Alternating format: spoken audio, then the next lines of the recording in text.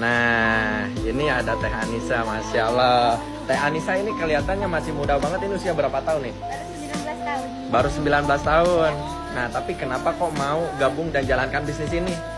Karena bisnis ini dengan modal kecil, tapi Mm-mm. potensinya luar biasa banget. Terus Teh Anissa ini sebelumnya nih, sebelumnya udah pernah belajar bisnis apa belum? Sama sekali, karena kan saya cuma lulusan SD, terus Hmm. pas lulus SD tuh langsung Oh, berarti sebagai asisten rumah Iya, tangga. jadi sama sekali belum kenal dunia bisnis gitu. Masya Allah, tapi Alhamdulillah eh, Anissa juga sekarang udah punya penghasilan kemarin sampai jutaan juga ya. Allah, ya. Alhamdulillah. Nah, terus di bisnis ini kan tentunya ada modal ya.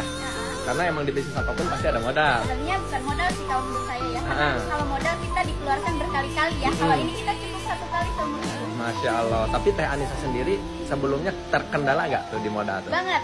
Terkendala banget. Pas dikenalin bisnis ini bener-bener sama sekali nggak ada modal gitu ya. Mm-mm. Tapi saya mikir lagi kalau saya nggak berani bertindak gitu kehidupan saya akan stuck di situ-situ aja. Masya Maka Allah. dari itu waktu itu pas gabung saya punya motor satu-satunya saya jual karena saya yakin dan percaya motor itu akan menjadi rumah, mobil dan sebagainya. Masya Allah. Dan Alhamdulillah sekarang udah ngerasain eh, bonus-bonusnya ya. Penghasilan jutaan di usia yang masih muda gitu kan. Nah, jadi buat teman-teman ada gak nih pesan-pesan eh, dari Teh Anissa sendiri? Nah buat teman-teman eh, dari saya ya Mm-mm. jangan pernah takut untuk memulai gitu karena kalau kita nggak memulai kita nggak akan pernah bisa.